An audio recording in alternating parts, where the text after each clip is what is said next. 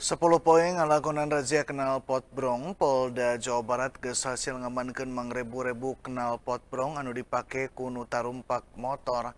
Make kenal pot brong di Pilewang bisa mucunghulkeun konflik atau provokasi dina usum kampanye mapag pemilu 2024.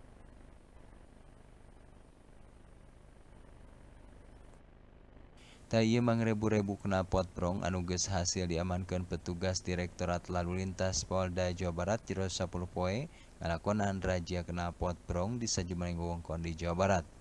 Eta knapot brong dina kendaraan teh kapaksa diamankan lantaran dirong bisa mencunghulkan konflik atau provokasi dina usum kampanye mapag pemilu 2024 lantaran dianggap ngaharenghengkeun masyarakat.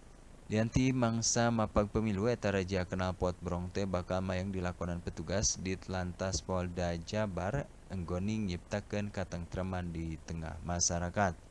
Polda Jabar ge umaja ka masyarakat sangkan bisa leuwih wijak nalika aya dina aturan patali marga di jalan umum.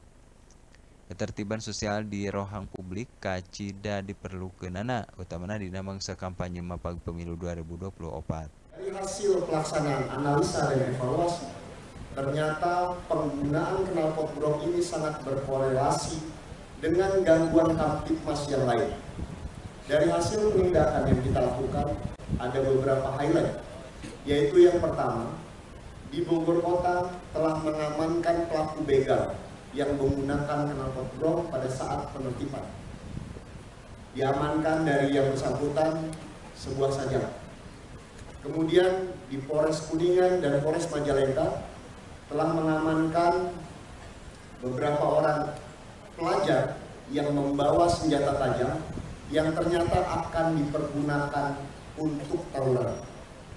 Di Polresta Bandung telah mengamankan pemilik obat-obatan terlarang jenis heksimer sebanyak 1000 butir pada saat penertiban Sakumaha nu kabewarakeun samemena saprak tanggal 10 Januari 2024 Raja Kenalpot Brong marang dilakonan di sakuliah wewengkon di Jawa Barat.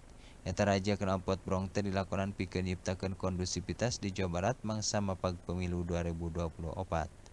Yuana Kurniawan, Bandung TV.